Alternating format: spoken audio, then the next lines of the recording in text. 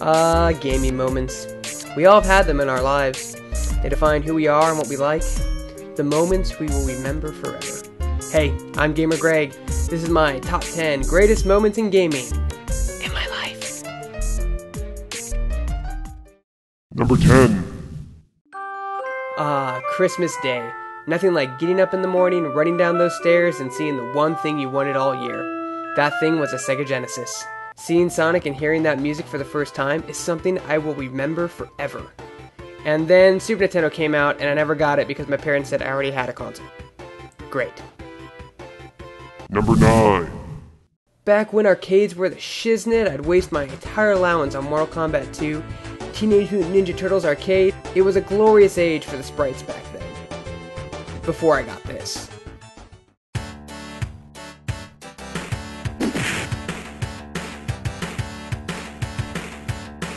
My first console fighter I ever played, and it was exactly like how I remember the arcade.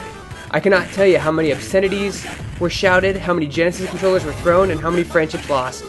Oh, Street Fighter 2, you will be remembered always. Perfect. Number 8. At one point, everyone had that neighbor, cousin, uncle, grandma that had that one console or game you didn't. And you knew going over to their house meant that you'd be going on an adventure of epic proportions. For me, that adventure was Mega Man 2. My aunt had a Nintendo, and every time I go over there for Thanksgiving, Christmas, or a birthday, I'd glue myself to that screen and try to beat it, which I never did. Stupid password gods. And my mom would always yell at me to come upstairs and socialize. Damn it, mom! I was saving the world from a giant evil robot invasion. God. Number 7. Does anything really need to be said here? I mean, it's a game where you pick up hookers and f- them. Enough said. Number 6. Alright, I have to get something off my chest. I actually never owned a Nintendo or Super Nintendo. I grew up on the Sega Genesis, and that kinda sucked. Not having two of the most iconic systems was horrible. Not saying that owning a Genesis was bad, but when you have more memories of playing Mario Kart at your friend's house than any of the 30 plus games I had for my Sega Genesis, and let's face it, Super Nintendo was just more popular. Number 5. I was at my cousin's house, and she was showing me off her brand new Sony PlayStation. And one of the first games I played on it was Final Fantasy VII. I stayed up 24 hours playing it straight because I had no memory card, and after that week, I worked my ass off, saved up all my money, and purchased a Sony PlayStation with Final Fantasy VII. And people say kids who play video games are lazy. Number 4. This is one of those memories that, although recent, you really don't want to remember. I was so excited when the second Dragon Age came out, I could hardly contain myself. Being a huge fan of the first, I knew the second one was going to be bigger, better, and just all around more amazing. And then I got home and played it. Everything that made the first game great was gone. Sure, the combat system was redone. That still doesn't change the fact that the main questline was so boring.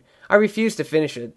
I really did. I sold the game on eBay eight weeks later for a whopping $20. Number 3.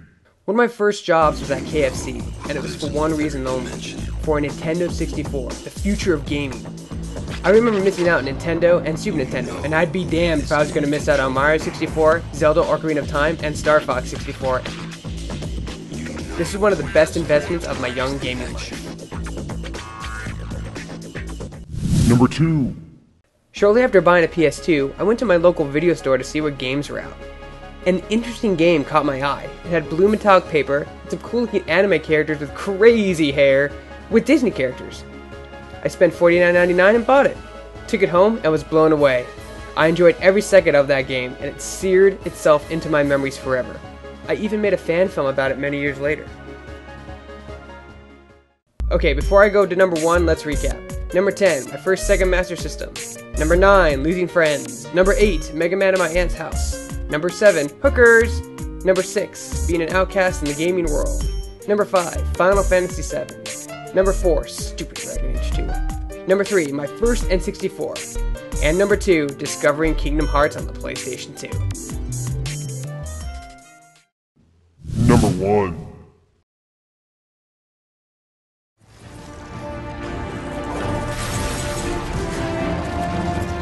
I've played a lot of games in my life, and some have made me feel frustrated, some sad, some happy, and some make me feel like I've wasted my entire childhood liking.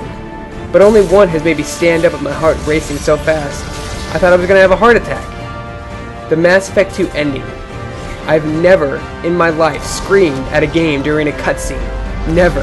I found myself standing up, jumping, yelling at my TV for Shepard to make that long jump.